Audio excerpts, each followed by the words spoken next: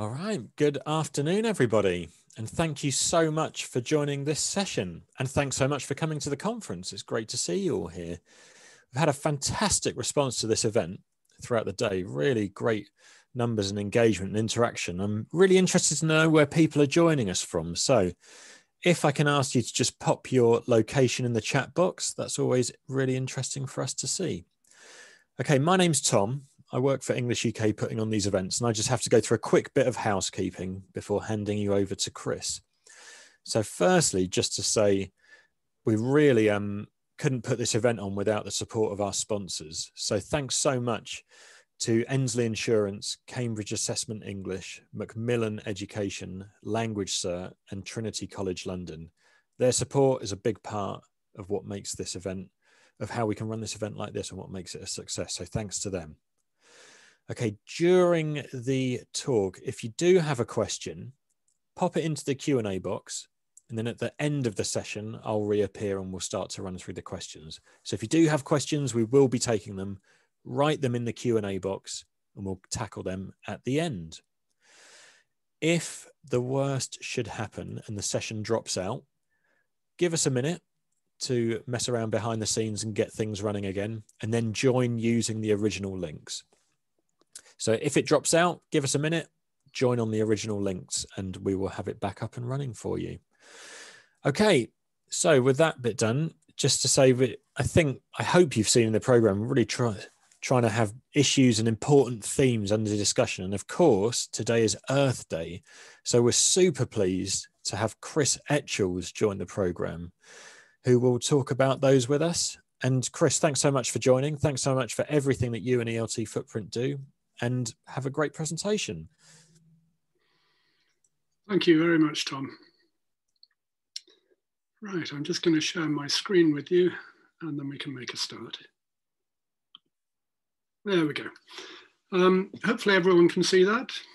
Um, no doubt let me know if you can't for any reason, Tom. Uh, thank you very much for the introduction. Hello, everyone, this afternoon or whatever time of day it is, wherever you are. Um, I want in this presentation to try to give you an overview of green ELT, um, the background to our situation, why it's important, how to identify and use the powers that you have uh, to help bring about positive change. I'll be talking from a UK perspective, but the, the climate and ecological crisis is obviously global. And I hope those of you joining us in other countries will find value in what I have to say as, as well. Uh, you probably know that our colleagues in the British Council have been conducting their own international survey on green ELT, and I'm sure they'll have more to say about how organisations are responding internationally. In the course of the talk, I'm going to talk about my own organisation, English Country Schools, and how we've responded to the challenges. And I hope our experience will provide ideas and insight for you to use in your own context. I'll also talk about ELT Footprint UK, which we hope will provide support for your efforts. And I'll describe how we can deal with feelings of overwhelm when faced with what can sometimes feel like the enormity of this crisis. Uh, I think that might resonate with some of you. I've called all this the landscape of green ELT. And as with any landscape, um, it's helpful to have a map um, for us to navigate with. So here it is. Now, um, as you'll see, there's, there's quite a lot here and I have less than 30 minutes to go through it. So I'm not going to be able to cover every detail. Um, the map and presentation will, however, uh, be available to download from ELT Footprint to UK um, or from English UK in the next few days. So I'll be looking at the operational background we currently find ourselves in, as I've said, and I'll be asking why it matters to us in ELT. And then I'll spend a, a bit of time looking at how you can identify and use the powers that you have to act. And finally, I'll look at sources of information and advice uh, to help you in your efforts if there's time, there should be a few minutes at the end, or if I time things correctly, there should be a few minutes at the end to answer questions. So as Tom says, please use the Q&A box to add any questions you may have. Um, and I will be happy to go through. I mean, any questions, simple, challenging, I don't mind. I'll, I'll have a go at any of them. So the operational background, well, it's challenging, of course, as we all know. Um, we're all facing COVID-19 and um, you might you know, fairly ask why I want to talk about green ELT when many schools are struggling even to survive. Um, and the answer, as I've said before, is that COVID is part of a bigger picture. And when COVID is gone, the environmental challenges will remain. And that's summed up in this famous cartoon that I know some of you have seen before. Actually, in some versions, there's a fourth wave, um, which is biodiversity collapse. And um, collectively, um, the climate crisis and biodiversity, sorry, biodiversity collapse um, uh, are called the climate and ecolog ecological crisis. So there's a kind of background drumbeat of doom in the media that's hard to avoid. Uh, we often hear about melting ice, rising sea levels, mass migrations, wildfires, species extinction, and so on. And um, it all feels a very long way from when I and my wife set up our summer school 30 years ago. And at that time, we envisaged a kind of rural paradise where children would connect with nature while learning English. Whereas now, to be honest, we find ourselves asking whether we are part of the solution or part of the problem. And actually, that's a really good question to put up on the wall of your school. And it begs the question, what problem? In case people haven't realized. and it encourages the idea that there are actually solutions. And it seems all this has happened very quickly. I mean, when our eldest son scared us half to death traveling around the world at the age of 18, it never occurred to us or to him to question the flights he was taking on his journey. And yet, just a few years later, his younger brother was refusing to fly to his studies in Sweden. He was preferring to travel overland instead, um, including on one occasion on a bicycle. And we, and by that I mean all of us, have gone very quickly, I think, from a kind of age of innocence to one of experience where we're suddenly aware of the damage we're collectively causing to the planet. And there's no doubt about it, the, uh, the serious scientific, scientific consensus is very clear. We are damaging the biosphere of the planet and our very survival is at stake. This is one of the most consequential decades in human history. That might sound like an exaggeration, but it's not. By 2030, either we will have reduced emissions by 50% and we'll be well on our way to a regenerative world where we turn things around at the last minute, or we will have begun to lose control over our climatic system and it ma will matter less what we do after that. These are the words of Tom Rivett-Carnac, who alongside Christiana Figueres helped bring about the successful Paris Agreement on climate change uh, six years ago. He said, he said these words in an interview just a couple of weeks ago, and I would like to note, I would like you to note the expression, it will matter less what we do after that. In other words, if we don't take this chance, dot, dot, dot. I think it's a very nice example of English understatement. Well, in addition to the scientific consensus, there's another kind of consensus, which British politician Ed Miliband calls the cozy consensus, among some people that focus on long-term targets rather than short-term actions. And don't be misled by that. We don't have time to do nothing. And from a political perspective, the UK will be hosting COP26 in Glasgow later this year when national leaders will get together to discuss progress and implement the next stage of the agreement they signed up to in Paris, hopefully to bear down on global emissions to try to avoid the worst effects of climate change. So there is political momentum in the UK to move the process forward. Unfortunately, sorry, I should say, and fortunately, China and the USA appear now to be moving in the right direction with this. And even Vladimir Putin, I understand, has been invited to a virtual heads of state environmental meeting that's being held right now by the USA. China has promised to become carbon neutral by 2060. And it's said that China tends to under promise and over deliver. So there is hope there. Also, as we know, one of Joe Biden's first actions as new president of the USA was to sign up again to the Paris Agreement. But we lost time while America was denying reality, and we need to make up that time now. And finally, in this look at the general operating background, I'd like to refer you to the United Nations Sustainable Development Goals. Many of you, I'm sure, have seen these. I like them because they provide a kind of blueprint for a better future and a set of goals that we can refer to and strive towards no matter where we live or work. So how do we respond to this situation? I remember a couple of years ago arriving for a conference in London and meeting up with a colleague from ELT Footprint UK. Before the conference began, we sat outside in the sunlight, uh, drinking coffee, my colleague was clutching a book called The Uninhabitable Earth, which I had also read recently. And the book is truly terrifying. It begins with the words, It is worse, much worse than you think. And the contents of the book continue in, in the same vein. Um, the book describes in detail what will happen at various degrees of global warming. And it's a call to everyone to wake up to the reality of what's happening. And I think sitting there in the sunlight, we both kind of felt a bit shocked. I mean, the business of London was going on all around us. And when we went into the conference, people were still choosing to attend sessions on the latest ideas about how to teach vocabulary or how to use new digital tools, literally as if there was no tomorrow.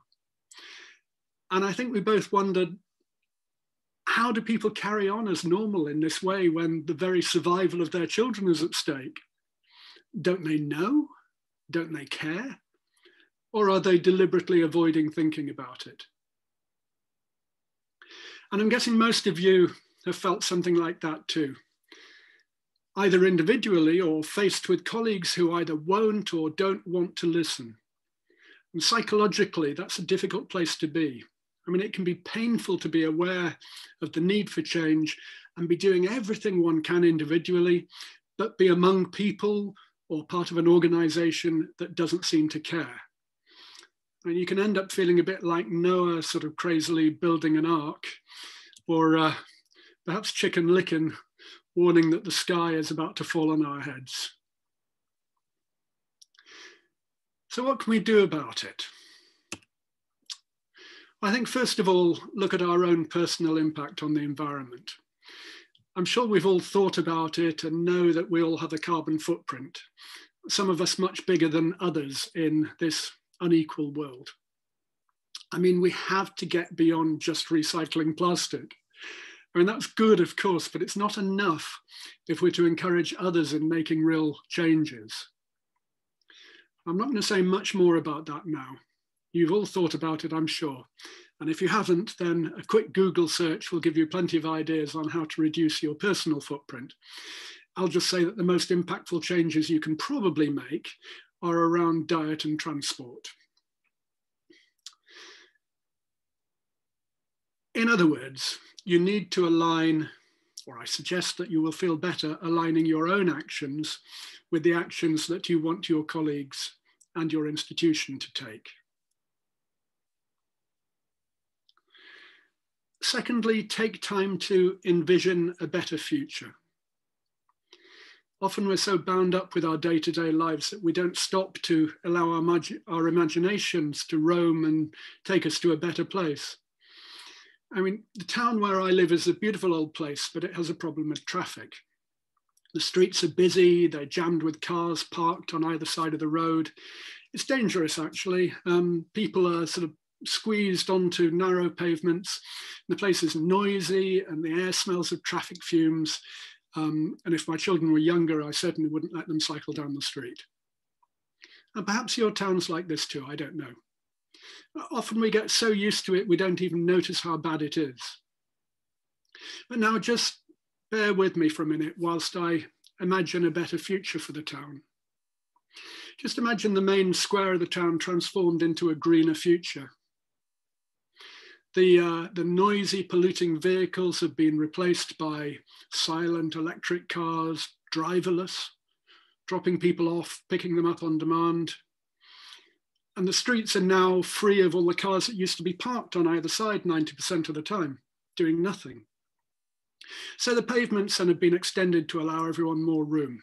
So more people go out and meet each other. The main square in the middle of the town that used to be a car park has been turned into a parkland area. Trees and flowers have been planted and families sit around, children playing in the, the now clean air. And the pub that used to face out onto a car park has been able to put out tables and chairs. And it's doing a really good trade now, uh, now that people are able to get there from nearby villages and towns without having to drive and that's released the back garden of the pub for the production of food, which is now served fresh and local to the visitors. I could go on, I could talk about how the river has been cleaned up and is once again full of fish, how people now grow much of their food in new allotments that have been created around the town and so on. But you get the picture, I hope. So what I'm suggesting is that you take time to envision your place of work your town perhaps, but your place of work at its best and greenest. Uh, while I've been working with people around this, I've learned that many of us actually find it quite difficult to do this. Um, it might feel childish or uncomfortable. But I can tell you it's also hugely liberating and psychologically beneficial in helping to create a forward looking and positive frame of mind. So when you have a few moments, just allow your, your imagination to roam and dream and create a vision of your town and your workplace in a new regenerative future. Don't ask yourself whether it's realistic. Don't allow doubts to enter your mind. Just enjoy the process and build a bright and colourful picture of your ideal world that you can then hang on to.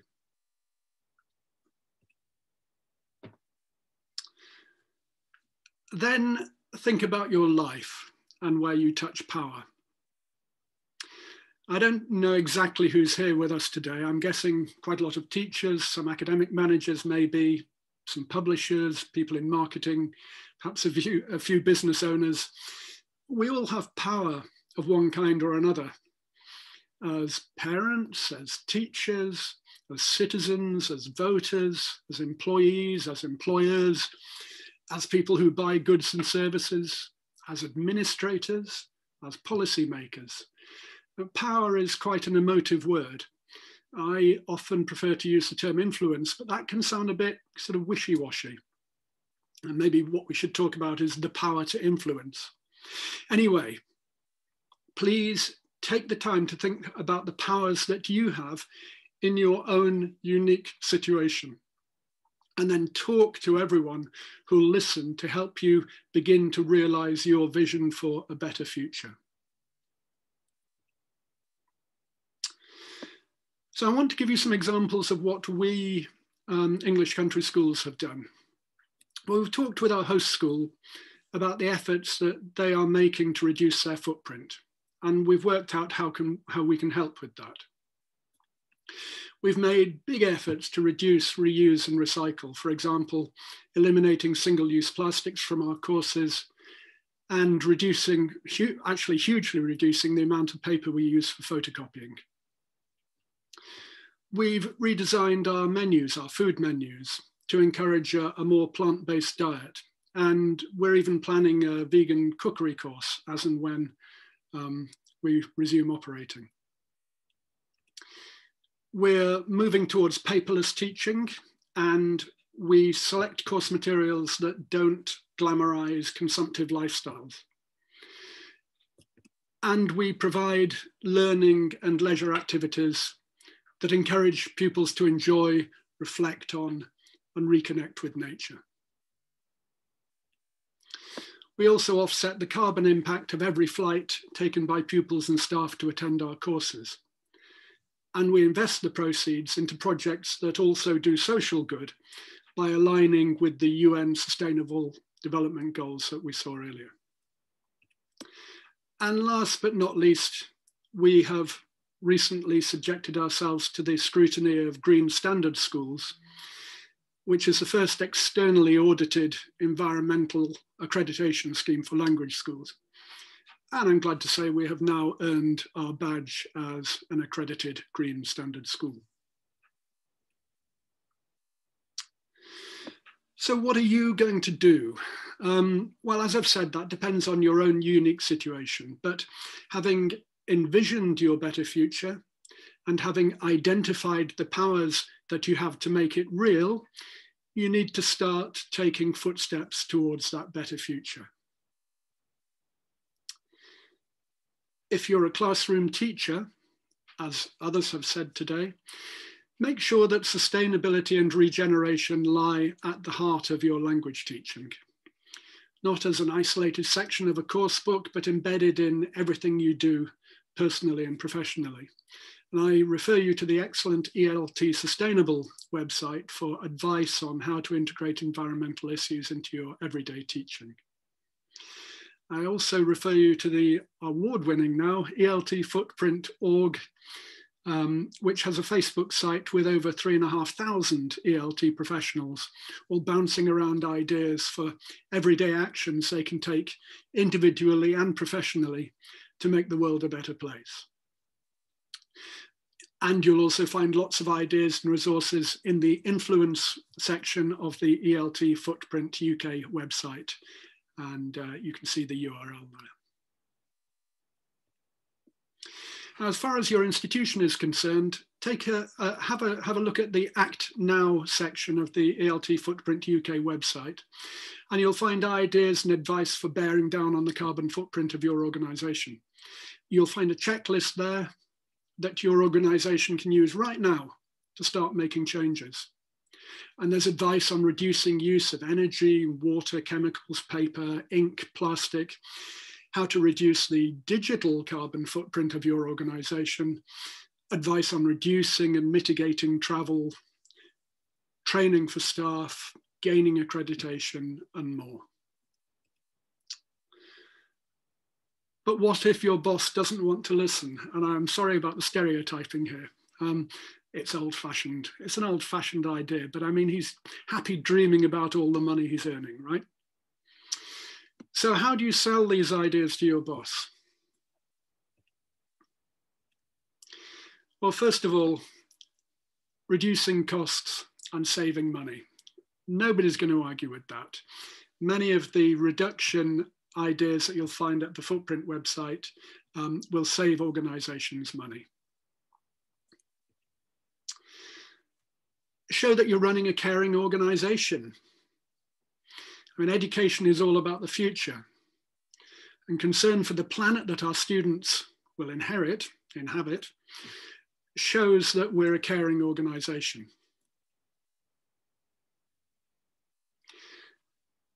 Learners want to see green credentials.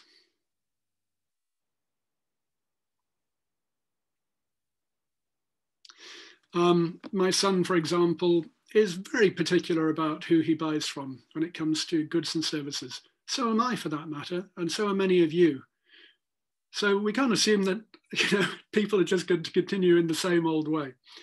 Learners do want to see green credentials, and they'll be looking for it when they when they spend their money.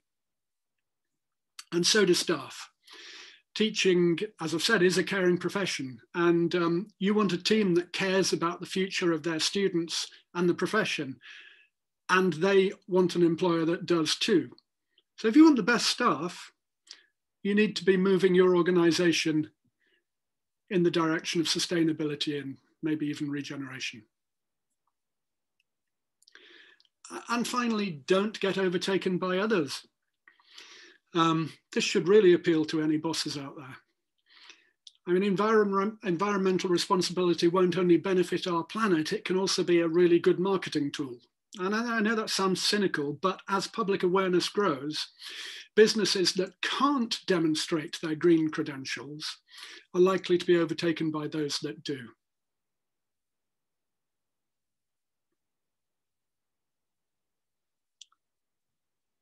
Again, for further information and um, to expand on that, please see the ELT Footprint UK website. Right. Um, I just want to say a little bit about the impact on myself of trying to face these challenges as a business owner and as a parent and grandparent and as founder of ELT Footprint UK. It's not been easy. And like all of you, I'm sure I have my good days and my bad days. And one thing I know for sure is that taking action feels good.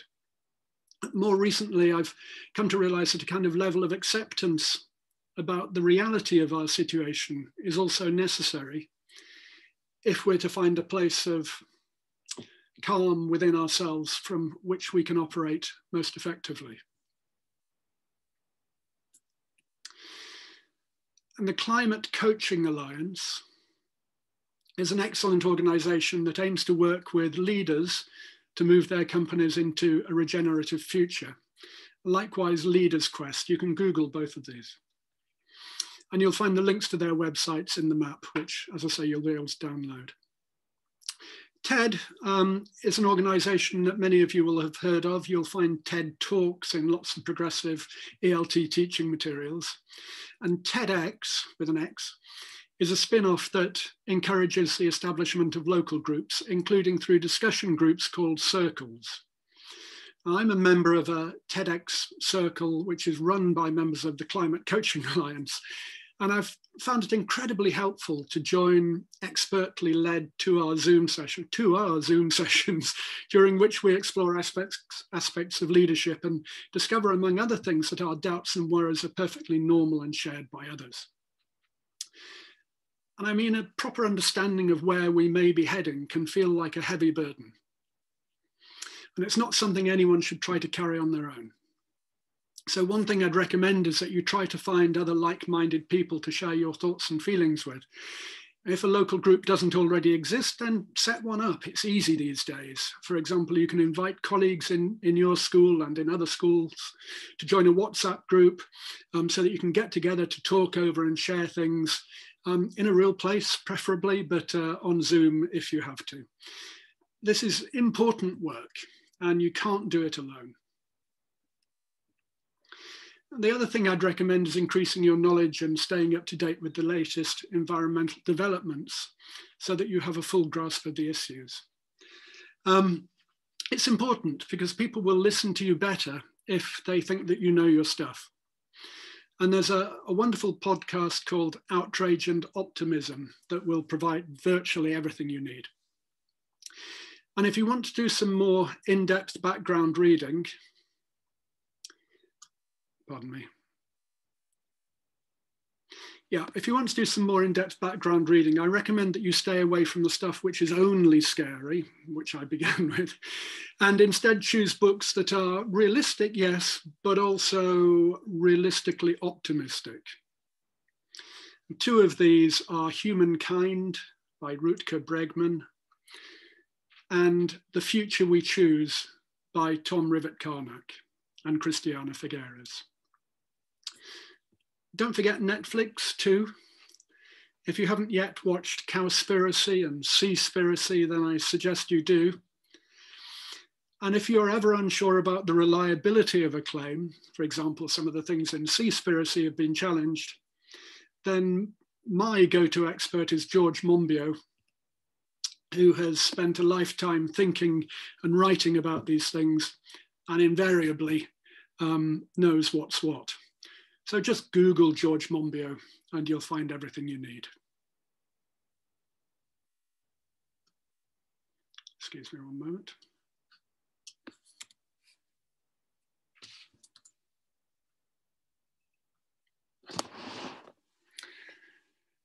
Okay. Um,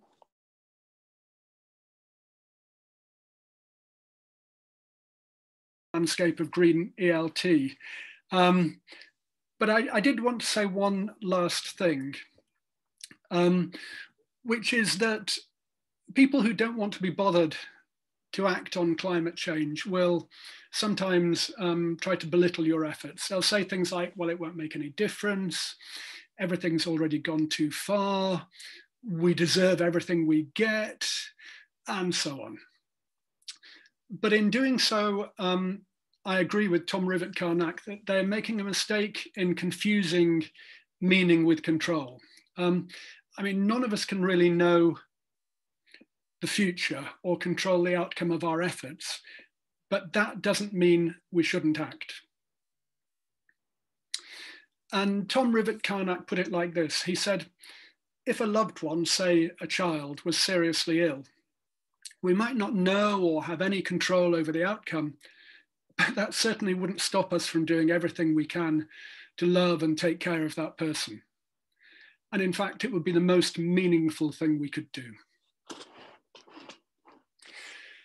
So I would say, please stay stubbornly optimistic. And in the words of Christiana Figueres, um, try to reach out and pull the future we want towards us. Um, I and my excellent colleagues at ELT Footprint UK, and I must pay tribute to their passion and their hard work and their expertise, We'll be organising ongoing discussions to continue learning from experts and from each other. Please sign up via the ELT Footprint UK website for our monthly newsletter um, to be kept informed. And as others have said, please use the hashtag GreenELT in your social media messaging to help all of us in this Green ELT movement connect and build a better future for ourselves, for our profession, and for the planet. So happy Earth Day. Thank you for listening. And if you have any questions, I will be very happy to answer them now. Excellent. Wow. Thanks so much, Chris, for a really brilliantly clear presentation. I really enjoyed that. Thank you for taking the time to put that together and for coming to the event today. So, everybody, we're running slightly over time. We I can see something's popped up in the question box. Okay, we'll run through a couple of questions, but we've got to keep it fairly quick. Yep. Those those are the rules. So Twitter answers, please, Chris. 140 characters only. Okay, so the first one, and this was a this was a question that I was going to ask. Given given the industry that we work in, especially let's face it, if we're in UK ELT, where there's probably a fairly easy riposte to lots of this, in that we're flying students to the UK. So you spoke about this, but there's a question within our sphere of influence, and ELT. Where do you think we should be focusing our efforts for change? The short answer, we should focus on the areas where we can make the greatest impact. Um, in terms of UK ELT, um, probably that is flights. Um, and we have to try and get ourselves on the right side of history with this. Uh, because if we are to survive as a species, we have to get our carbon footprint down. So there's a whole section on the ELT Footprint UK website on flights. And the short answer is we're in a bit of a quandary. We hmm. can't, we want people to fly to us. We want more people to fly to us, or at least to travel to us. And the vast majority of those journeys will be by flight. We should, there are obviously things we can do to encourage people not to fly. We can encourage people to stay longer, making more of their flights. But ultimately, we have to offset the impact of those flights. And many organizations have started to do that. Um, that's one of the things I am most proud about um, in terms of what we've achieved so far. I would encourage everybody to do the same. Great, thank you. And we've got a, a, sort of question comment, but I'd really like to put it to you, Chris, because I really found parts of your talk very energizing, I would say, in the way that you talk about coming up against this issue that we're about to outline and how we stay positive and how we stay active and trying to make a change, I think, because like you say, you can start reading about this and it can be very, very demotivating. Let's say would be the polite way of putting it, I think. So the question is um, thanks so much for the talk, all very useful. We're trying to go greener in the office with ink and recycled paper, etc., but it's all very expensive. Ultimately, we have to get many items shipped to us. Um, and I guess, of course, we've got the students coming. So it's hard to see how it may be worth doing. Now, I really wanted to ask this question to you, Chris. I'm really grateful to the person that did ask that because let's face it, we are going to go back to face to face events. We've got a conference full of people. It's brilliant to see our audience here, but I suspect we're getting people that are keen on this issue already. So, what do we say to people when we hear, oh, I'm not sure it's worth doing this or it's too hard? It's difficult to see yeah. how it's worth so, doing. So, so, two quick answers to that. One, uh, your clients are likely to require it from you. Right. And if you're not doing it, they'll go to somebody who does. Um, second one is what you're really saying is that your bottom line, your profits, are more important than um, our future. And I don't think many people will take very kindly to that. Hmm. Okay, thank you.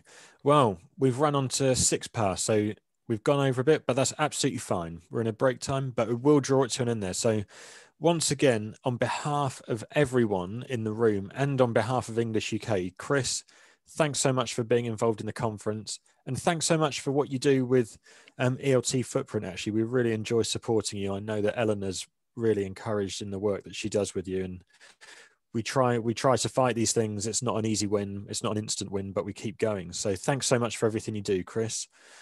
And Thank you too, Tom. I'd like to return the compliment. Um, English UK has been very supportive, and I think having uh, um, um, running through um, Earth Day has been great idea and really um, energizing and, and successful. So thank you very much indeed for that. Absolute pleasure. Absolute pleasure. Absolute and pleasure. Absolute. Thanks so much for everyone joining the session and joining the conference. So it is Earth Day. We've got one more session coming up at 3:30, which is the British Council talking about this topic. So I'm sure we will see you all there. We hope you've had a great day. Please after the event complete your feedback. Let us know what you think because it really helps us to put on more events like this or change them as you like to see them. So again thanks so much for joining. We'll see you in the final plenary. Hope you've had a great day and have a great afternoon everybody. Thank you everyone